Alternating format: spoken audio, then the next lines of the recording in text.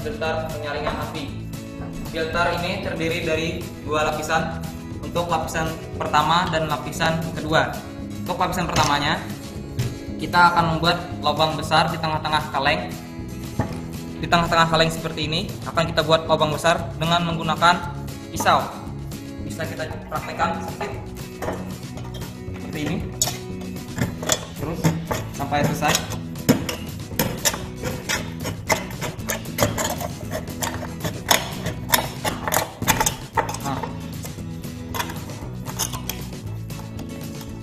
Setelah jadi seperti ini akan kita buat lagi lubang-lubang seperti ini dengan menggunakan paku.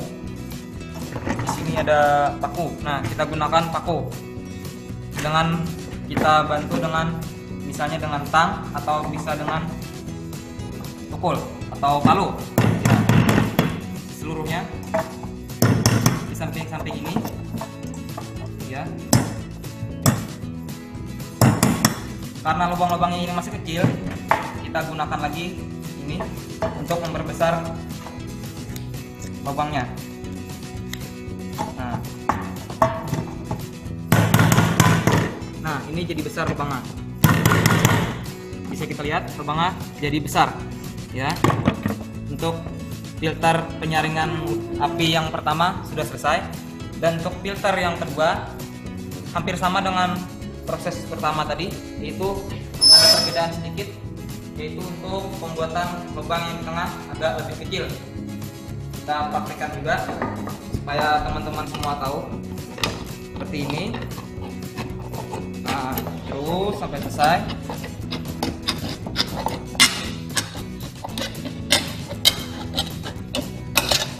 Nah kurang lebih seperti ini. Kita beri lubang-lubang lagi hampir sama seperti ini tadi setelah jadi kita rangkap dua.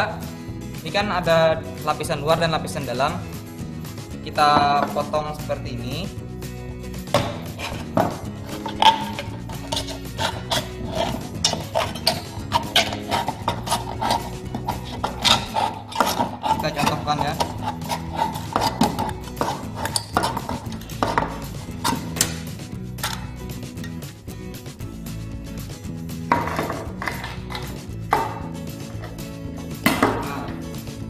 kita lapis jadi seperti ini nantinya.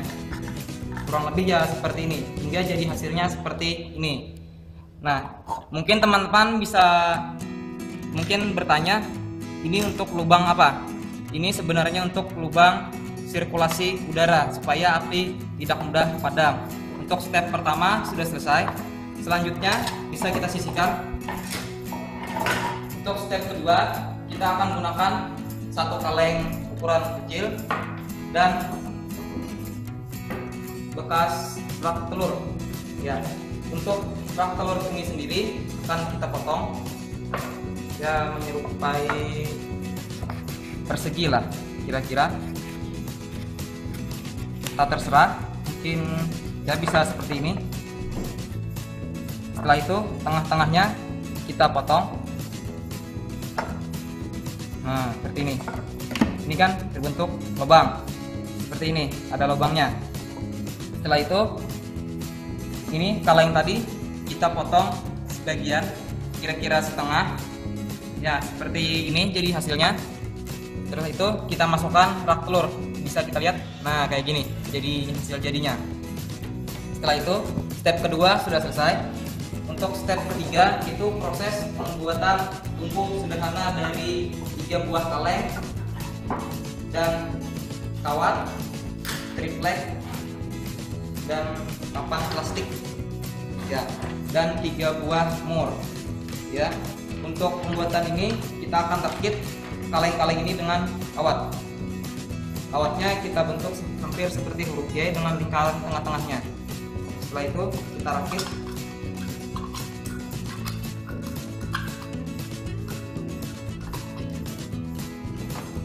satu persatu. Ini sebelumnya sudah kita beri lubang kiri dan kanannya berlawanan. Ini yang pertama ini yang kedua sama ketiganya. Nah sama. Ada tiga sama. Nah yang ini juga. Setelah itu kita satukan.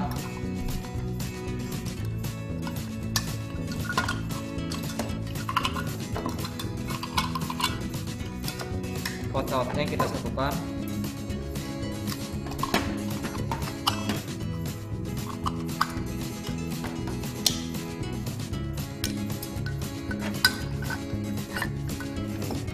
hingga terbentuk seperti ini.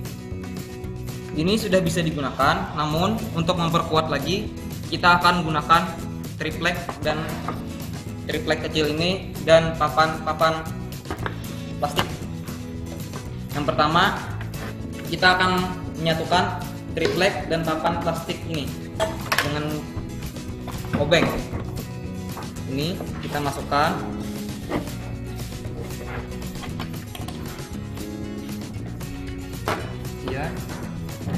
kita rakit sampai jadi kayak seperti segitiga. Hampir sama seperti ini tadi. Nah yang ini. Sama bentuknya. Kan kayak gini. Terus kita pasang di sini ada mur di sini sama di sini. Jadi kan bentuknya hampir seperti segitiga.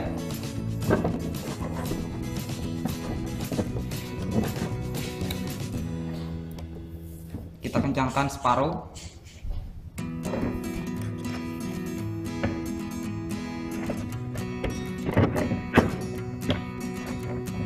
ya kan belakang dari belakang kayak gini terus dari depan kita lihat seperti ini.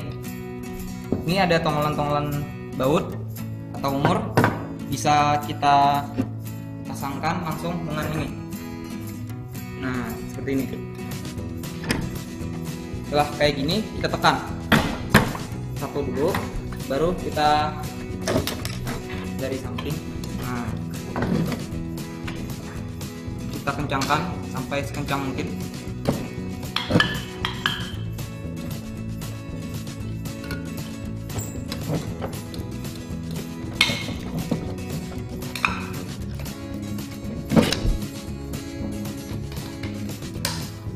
Ya satu sudah selesai. Tinggal yang dua lagi. Kita tekan. Terus kita kencangkan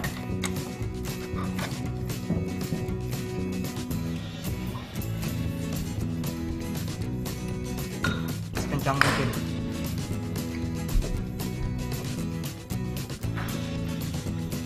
Setelah itu yang terakhir tekan lagi.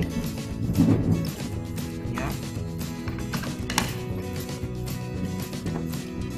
kita kencangkan lagi sampai sekencang mungkin supaya tidak lepas.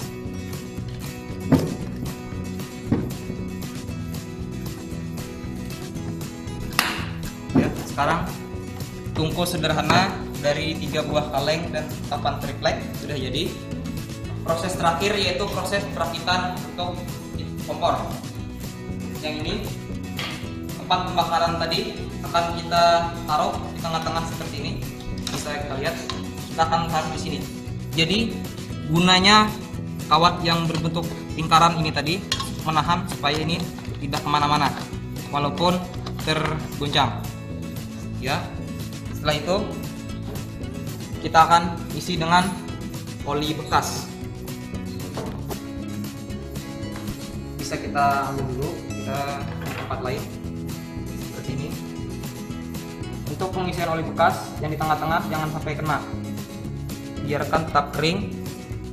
Isi jangan sampai penuh. Seandainya sampai penuh ntar kalau olinya sudah panas akan meluap. Jadi kita diamkan segini saja setelah itu untuk supaya oli ini bisa menyala kita akan berikan minyak tanah sedikit di tengah yang kering tadi. Sampai seluruhnya. Sudah? Setelah itu bisa kita nyalakan dengan korek. Bisa minta tolong sama teman-teman ada di dalam tas bisa kita lihat lagi. Ini kita diamkan beberapa saat. Nah coba.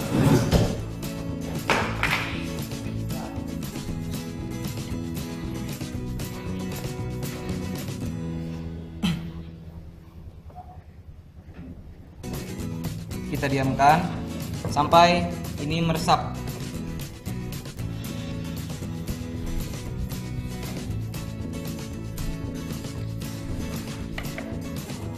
Ya mumpung koreknya belum ada jadi kita langsung aja. Ini ini kan filter tadi. Langsung kita taruh di tengah-tengah gini. Ya gini. Kita taruh. Kita taruh dulu. Nah kayak gini. Ini diusahakan kita lihat sirkulasi udaranya. Bisa lihat di bawah. Coba bisa dilihat di bawah. Dilihat ini masih ada bisa masuk udara ya untuk itu sudah selesai. Ini kita akan gunakan sumbunya kertas. Kita celupkan di minyak tanah sedikit sebagai pemancing. Setelah itu kita nyalakan. Sampai besar kita masukkan di dalamnya. Sekarang kompor sudah siap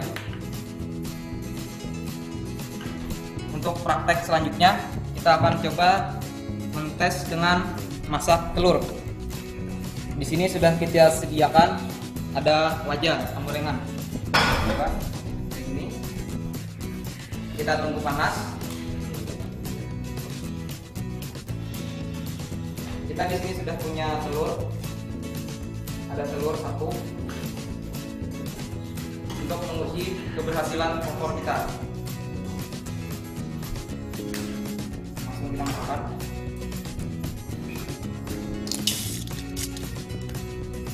tunggu matang